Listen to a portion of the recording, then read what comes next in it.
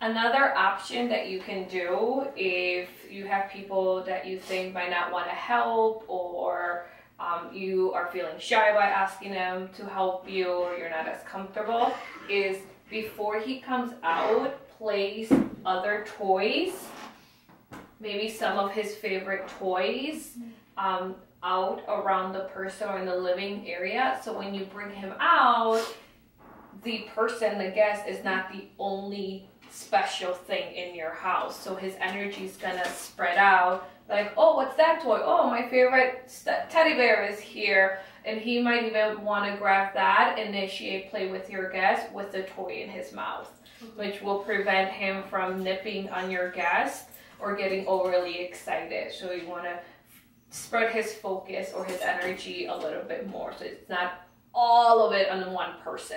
Like mm-hmm. his excitement is good, but too much excitement can lead to trouble. Okay, so I'm gonna have you bring him out. We placed his favorite toys.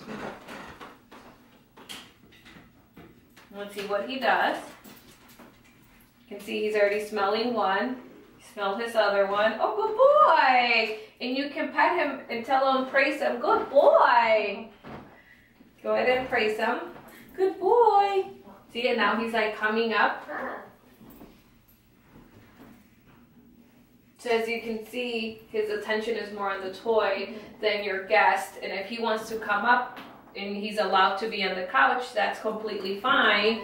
Here, I'll move this pillow so he has space.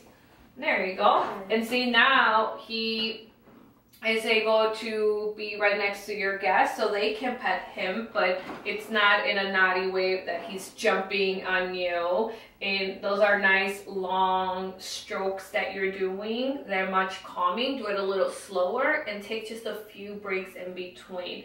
There you go. And you can see he's still wanting to use his mouth, but it's actually going towards the toy rather than your guest, and you're not getting frustrated. Mm-hmm and you're actually enjoying the whole situation of having people over.